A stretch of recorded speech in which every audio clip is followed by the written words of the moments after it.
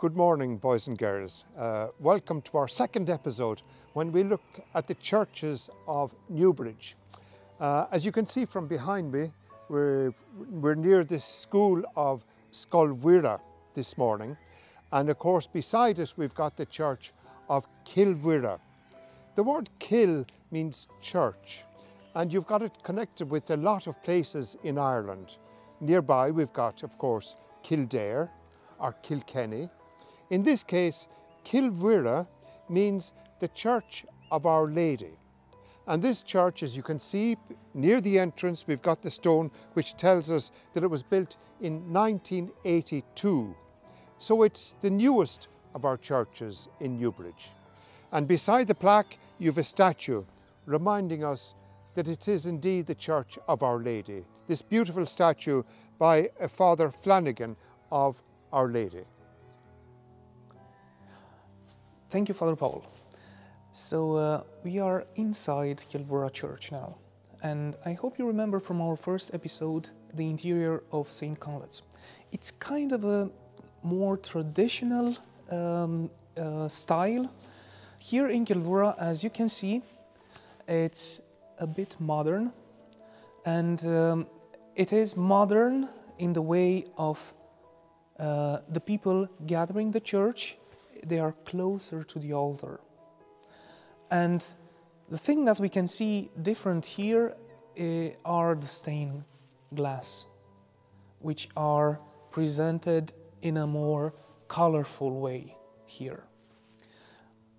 What I love about um, our churches is that as you go in the church, you see um, the same kind of arrangement in the church.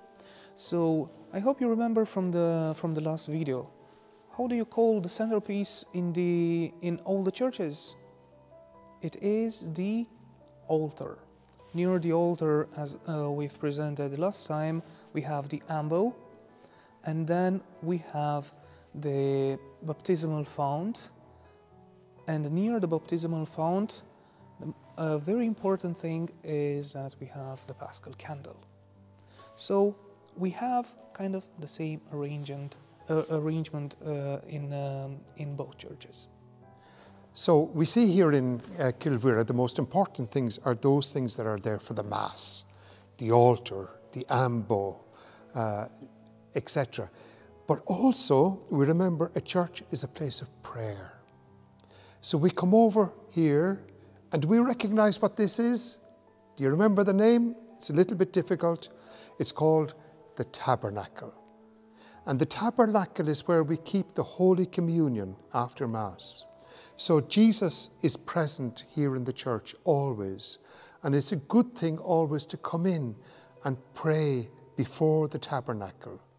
Pray because Jesus is present. And we're reminded that Jesus is present by something else. Do you remember? The sanctuary lamp. And here, always, day and night, there is a candle burning to remind us that Jesus is always present in our church. And here we have the baptismal font of Kilvira Church, a great block of granite stone scooped out. And it's here the child is brought and the water is poured on its head. And the priest says, I baptize you in the name of the Father and of the Son and of the Holy Spirit. And this is how we become a Christian, a member of the Christian church. In the background, there is a lovely plaque, and it shows John the Baptist baptizing Jesus in the River Jordan, a great reminder of this great gift of baptism, where we come close to God like Jesus himself. We have a mission to, to make in, as Christians. We are followers of Jesus. In every church, we have wonderful works of art.